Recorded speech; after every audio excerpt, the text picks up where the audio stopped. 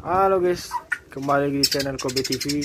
Subscribe Kobe TV sekarang, dapatkan trotolan murai batu di 50.000 subscriber dan 100.000 subscriber. Subscribe sekarang ya.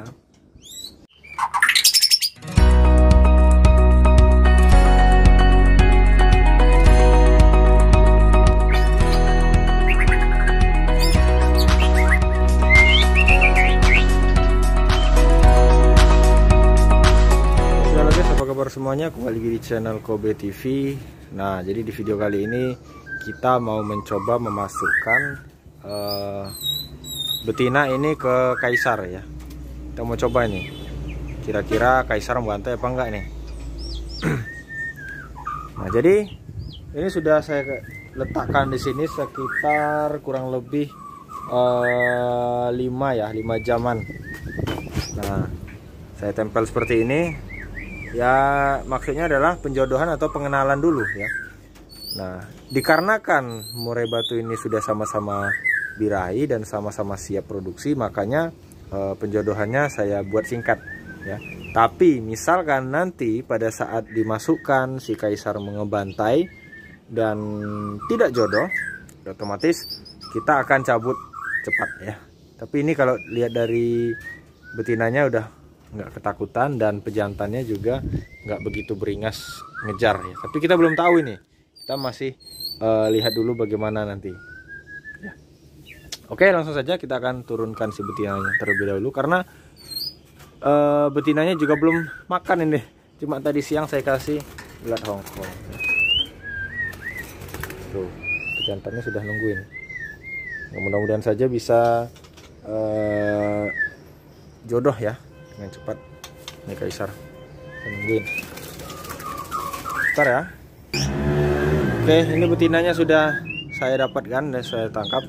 Dan sekarang saya memasukkan dari kandang sini. Ya, ini kandang ini pakai skat sudah saya buka skatnya. Nah ini dia. Kita coba lepaskan di sini di atas. Tuh. nah jadi untuk diketahui juga eh, betina ini dulu pernah berproduksi di kandang ini ya dengan si hutan. Tapi eh, dikarenakan sekarang sudah dikosongkan jadi ini saya jempol saya satukan dengan eh, si kaisar. Tuh kandangnya. Ntar saya pindahkan kandang ini dulu ya. Oke ini dia betinanya kayaknya dia udah kelaparan nih makanannya sudah, sudah saya pindah ke sini dan mereka belum bertemu ya. Ya kita kasih enak-enak dulu makanan ya supaya dia eh, bisa beradaptasi dan nggak stres di kandang ini. Ini kayaknya nggak stres ya. Nih ciri-ciri kalau dia nggak stres itu dia gerak aktif dan eh, tidak matung ya. Ini kan nggak matung nih, ha. nih aktif ya dia burungnya. Ya mudah-mudahan aja eh, cocok dengan si kaisar ya. Kaisar nih udah Wah, di bawah dia. Ya mudah-mudahan nanti Kaisar bisa ketemu. Kita lihat. Oke. Nah, yang kedua, fungsinya kandang kita sekat seperti ini untuk mengurangi resiko pembantaian juga ya. Memang bakal terjadi pembantaian, tapi dia tempat kaburnya itu eh, lebih aman gitu ya. Kayaknya Kaisar udah pindah nih. Mana Kaisar? Oh masih di sana. Ini betinanya ini masih cari makan ini karena dia udah kelaparan kayaknya.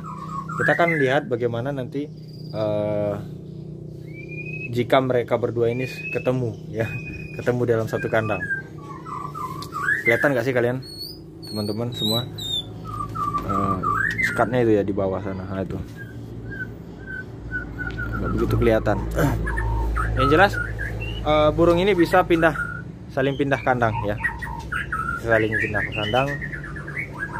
Nih kalau kayak betinanya ini aktif dan nggak stres ya mudah-mudahan bisa berproduksi langsung.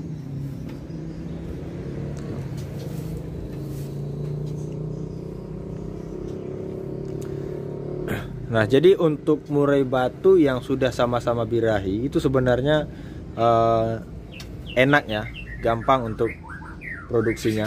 Biasanya kalau memang sama-sama birahi dan kebetulan cocok, itu dia biasanya langsung angkut sarang langsung bertelur dan langsung menghasilkan ya. Yang sulit itu adalah kalau salah satunya tidak birahi ya. Nah tapi di sini juga bukan berarti sama-sama birahi dia cocok. Ya belum tentu juga ya. Kadang dia tidak sesuai salah satunya. Mungkin satunya sesuai yang satunya enggak. Ataupun yang satunya sesuai yang satunya masih proses adaptasi. Nah itu juga nggak bisa ya. Nah ini mudah-mudahan uh, burung ini bisa sesuai ya.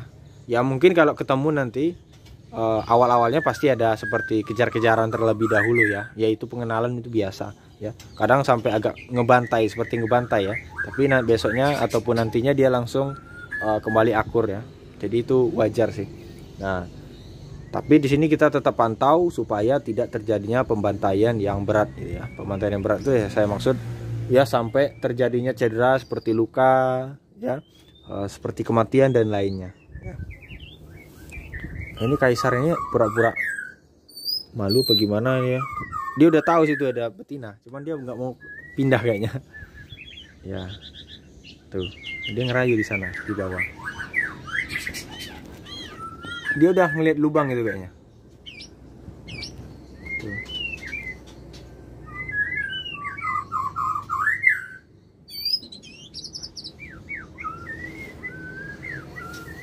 Nah, jadi di sini kita ulas lagi uh, si kaisar ya.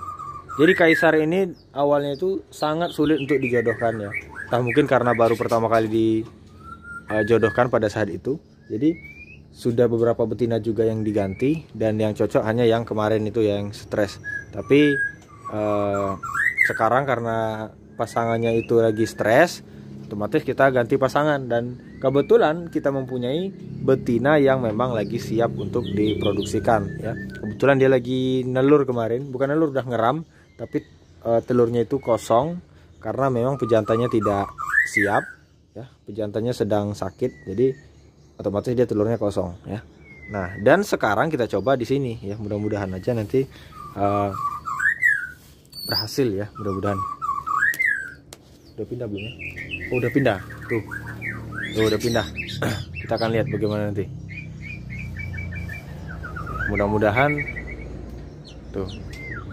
Kayaknya kaisar kalau kayak gitu ngerayunya dia uh, bisa dikatakan cocok ya tapi belum tentu guys ya dia cocok betinanya belum tentu mau nah itu makanya betinanya masih belum ini nih belum belum gitu ah kita lihat nih dua nih kita berdua nih Oke, kita perhatikan. Nah, ini. Ini kalau dia merayu seperti itu biasanya dia cocok. Tapi kalau dia nggak merayu, langsung ngejar ya, kelihatan langsung ngejar. Nah, itu yang berbahaya. Nah, kita lihat ya duburnya itu. Mohon maaf ya. Kembang kempis. Nah, kaisaran udah siap sekali sebenarnya. Ya mudah-mudahan lah. Ah, dia mendekat. Dia mendekat dia mendekat ah insya Allah cocok ini Bismillahirrahmanirrahim saya lupa tadi baca Bismillah ya mudah-mudahan ini maaf ya kameranya kurang jelas karena saya zoom ini pakai HP lagi karena kamera juga belum saya siapkan tadi sempat lupa juga ini udah jam uh, hampir setengah enam. Saya baru ingat bahwasanya ada betina yang lagi dijodohkan. Tapi makanannya belum saya kasih tadi cuman siang tadi saya kasih. Ya mudah-mudahan lah. Ya, kita lihat. Hmm. kalau kalau dia ngerayu seperti itu biasanya dia merasa cocok gitu ya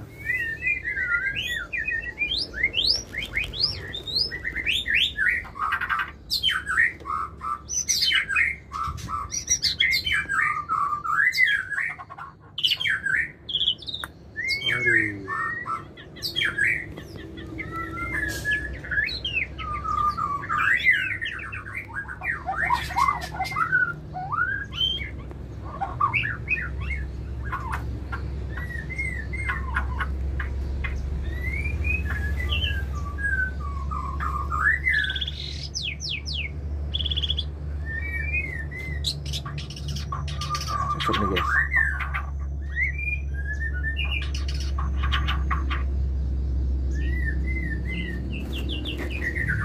nah di sini malahan Nah ini dia nggak mau ngebantai karena memang betinanya sudah birahi. Kalau betina belum birahi, ini biasanya dia udah gerabakan terbang-terbang sana sini ya, seperti burung stres.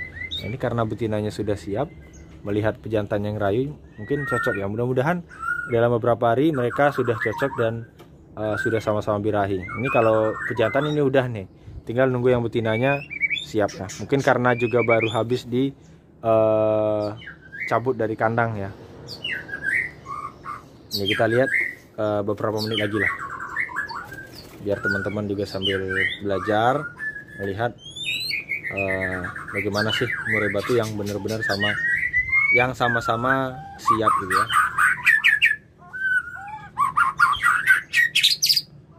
so.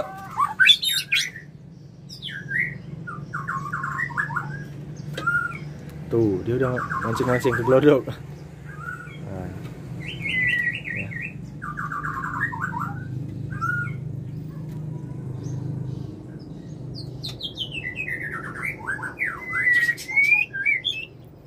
Padahal ya, eh, balik-balik lagi ke cerita yang tadi, Kaisar ini termasuk sulit untuk dijodohkan pada saat itu ya.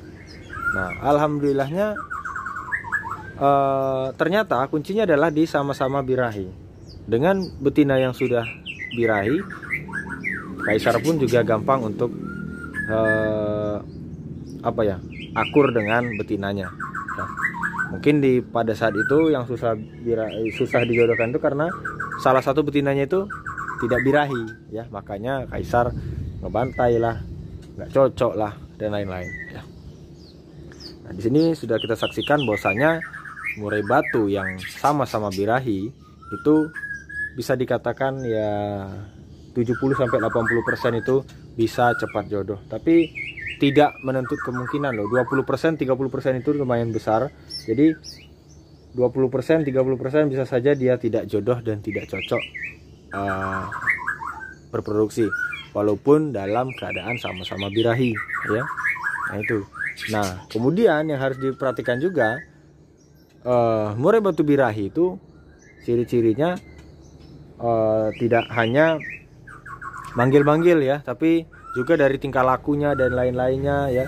Seperti dia sudah bertelur sendiri angkut sarang sendiri manggil-manggil ketemu jantan dia diam dan lain-lainnya. Nah itu dia sudah birahi. Tapi kalau hanya bunyi-bunyi itu belum tentu birahi. Banyak sekali yang mengatakan asal bunyi dia birahi. Belum tentu ya. Bisa bisa jadi sakit bisa jadi memang dia gacor ya. Jadi murai batu gacor belum tentu dia birahi.